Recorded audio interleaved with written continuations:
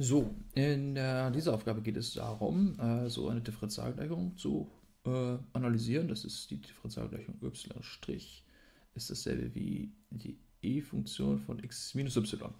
So, wenn man jetzt mal überlegt, was ist denn das für eine, für eine ähm, Differentialgleichung, da sehen wir also y' und y taucht auf, das heißt also eine Differentialgleichung erster Ordnung. Und ähm, ja, äh, wir haben hier die, äh, die y, das y in der e-Funktion drinne. Das heißt, es ist jetzt nicht irgendwie so eine äh, lineare, homogene oder irgendwie sowas ähm, äh, Differentialgleichung, sondern eine, einfach nur eine Differentialgleichung, eine, allgemeine, eine gewöhnliche Differentialgleichung erster Ordnung. So, und es ist noch ein y0-Wert gegeben, das heißt, der, wir haben so ein Randwertproblem, nämlich y von 0 soll genau 1 sein. So, bestimmen Sie die Lösungsfunktion y, indem Sie die Variablen trennen. Das heißt, es gibt also eine Technik, die nennt sich Trennung der Variablen, wenn man versuchen möchte, solche Differentialgleichungen zu lösen. Ja, und genau darum geht es, dass wir in dieser, in dieser Aufgabe einmal diese Technik Trennung der Variablen einmal üben. So, also was muss man da tun? Also man nimmt sich also diese, diese Differentialgleichung daher, also y' ist dasselbe wie die Exponentialfunktion von x minus y. So, und die Idee ist, dass man erstmal ähm, das umschreibt zu dy zu, durch dx. Das heißt also, so ein y' wird dann zu dy durch dx gleich Exponentialfunktion von x minus y.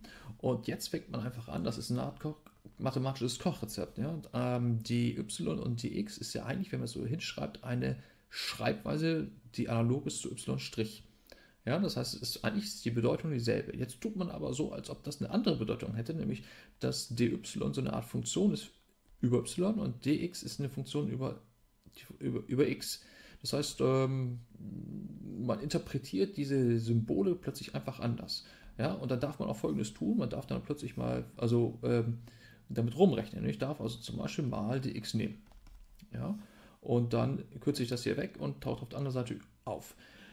Trennung der Variablen bedeutet jetzt, dass man versucht, diese Terme, Sie sehen ja, ich habe Terme mit y und ich habe Terme mit x, ja, auf beiden Seiten, dass man die versucht zu trennen, sodass hier auf der einen Seite nur y auftaucht und auf der anderen Seite taucht nur x auf. Ja, das versucht man. Und deswegen will ich mal hier mal anfangen und das dx bringe ich mal auf die andere Seite rüber und kriege also dy gleich Exponentialfunktion von x minus y mal dx. Ja, jetzt bin ich schon, schon ganz gut ähm, vorangekommen, weil ich sehe, hier habe ich nur noch y. Ja, und hier habe ich äh, alle x, die auftauchen, tauchen hier auf der rechten Seite auf. Es taucht aber noch dieses blöde y auf, das müssen wir irgendwie loswerden. Na, ich habe ja so ein paar äh, Rechenregeln im Kopf, ne? insbesondere was die Exponentialfunktion angeht. Da steht ja einfach, das ist die Exponentialfunktion von x geteilt durch die Exponentialfunktion von y. Ja, das weiß ich ja, weil ich meine e-Funktion so gut kenne. So, äh, und dann ist ja auch klar, dass ich einfach mit der Exponentialfunktion von y multipliziere. Und dann steht da plötzlich folgendes, dass dann die Exponentialfunktion von y mal dy dasselbe ist wie die Exponentialfunktion von x mal dx. Das ist, ups, das ist schick, ja, ähm, weil jetzt habe ich das äh, mein Ziel erreicht. Ich habe die Variable getrennt. Alle y's tauchen hier auf und alle x tauchen hier auf. Jetzt kommt quasi der eigentliche Sinn und Zweck dieser Übung. Wenn ich das getrennt habe, schreibe ich einfach mal das Integralsymbol davor und plötzlich macht das alles mir viel mehr Sinn als vorher. Denn jetzt ist es plötzlich ein Integral, eine Integralgleichung geworden. Ja, und wenn Sie sich das so angucken, ist es aber ein unbestimmtes Integral, das heißt, wir reden hier über Stammfunktionen. Die Stammfunktion von äh, e y ist dasselbe wie die Stammfunktion von e x. Ja, das steht ja quasi als Gleichung. Na gut, äh, was haben wir gelernt? Was ist die Stammfunktion von e hoch y? Das ist einfach die Exponentialfunktion von y plus irgendeine Konstante, die ich jetzt mal c1 nenne. Ja? Und äh, das muss dasselbe sein wie äh, diese Stamm, äh, Stammfunktion von äh, e hoch x. Das ist also wieder e hoch x oder Exponentialfunktion von x plus eine andere Konstante, die ich sicherheitshalber einfach c2 nenne. So, jetzt habe ich eine Gleichung. Ja, äh, und ich habe eine Gleichung, die sieht so aus. Exponentialfunktion von y ist dasselbe wie Exponentialfunktion von x plus c. Ja, wo kommt jetzt das c her? Ich habe einfach gesagt, c ist definiert als äh, c2 minus c1. Ja, das ist einfach eine, eine neue Konstante. Ich, ähm, c1 und c2 ähm, kann man ja irgendwie wählen. Wichtig ist, damit diese Gleichung stimmt, ist, dass die Differenz zwischen C1 und C2 richtig ist. Ja? Und die Differenz nicht jetzt einfach C ist dann nichts anderes als eine neue Konstante. So, jetzt habe ich also diese Gleichung. Die e-Funktion von y ist dasselbe wie die e-Funktion von x plus c. Naja, dann wende ich nochmal den ln an und plötzlich steht da y ist dasselbe wie ln von der Exponentialfunktion von x plus c. Tada, nun haben wir das. Ja? Ähm, jetzt haben wir eine Gleichung und äh, diese Gleichung redet über die Funktion y. y ist also das da. Das haben wir, so, haben wir jetzt also rausgekriegt durch die Trennung der Variablen. Die einzigen Funktionen, die in Frage kommen, diese Gleichung hier zu lösen, ja, diese, diese Differentialgleichung zu lösen, ist diese, sind diese Funktionen. ln von äh, Exponentialfunktion von x plus irgendeine Konstante c, die ich mir im Prinzip aussuchen kann. Naja, so aussuchen kann ich es mir auch nicht, weil in der Aufgabenstellung steht noch, ach ja, y von 0 soll 1 sein. Hm, okay, muss ich das noch irgendwie äh, berücksichtigen? Ja, also y von 0 soll 1 sein. Dann folgt daraus, dass ln von Exponentialfunktion von x, ja, x ist aber jetzt 0, plus c, das soll 1 sein. Naja, dann wende ich mal darauf auf diese Gleichung komplett die e-Funktion wieder an. Das heißt, dann habe ich hier nur noch die Exponentialfunktion von 0. Auch die kann ich ja einfach ausrechnen. Die Exponentialfunktion von 0 ist natürlich 1 ja, plus c muss dasselbe sein wie die Exponentialfunktion von 1. Ja, äh, und das ist ja e. So, und jetzt habe ich also rausgekriegt, c ist nichts anderes als e minus 1.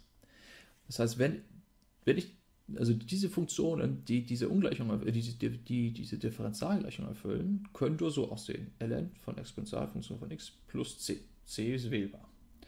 Und wenn ich auch diese Randbedingung habe, y von 0 muss 1 sein, dann ist c, c nicht mehr wählbar, dann kann c nur, äh, e, gleich, äh, nur e minus 1 sein. Alle anderen Werte kommen nicht in Frage. Ja, das heißt, die einzige Funktion, die das, äh, die das schafft, ist genau diese Funktion. Ja, also y von x ist dann also ln von Exponentialfunktion von x plus und dann einfach man c, das ist jetzt e minus 1.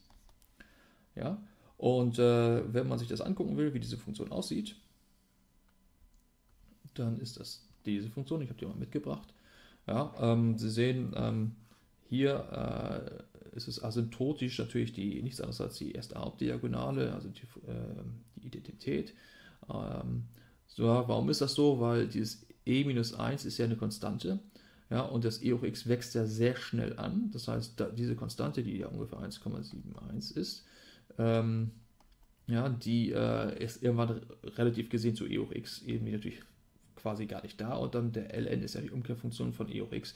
Also das heißt, wenn man mal von diesen, äh, wenn das x sehr groß ist, so ab 8, äh, dann ist das einfach ein sehr großer Wert und der spielt kaum noch eine Rolle. Das heißt, es ist gefühlt natürlich irgendwie äh, dann wie e hoch x und davon den ln und das ist nichts anderes als x.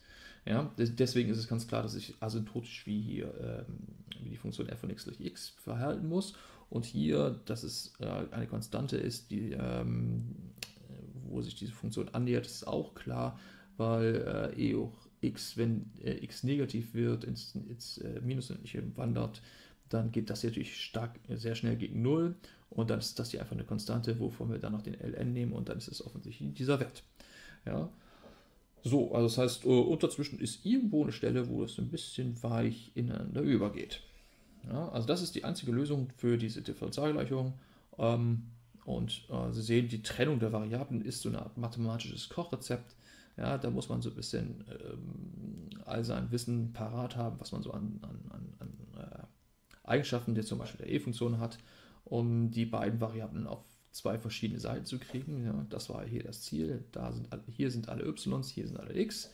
Und wenn man das geschafft hat, dann darf man einfach daraus die Stammfunktion machen. dann hat man eine Gleichung über die Stammfunktion und dann ist man typischerweise irgendwie quasi fertig. Ne? Der Rest geht dann irgendwie von selbst. So, ich hoffe, das war hilfreich.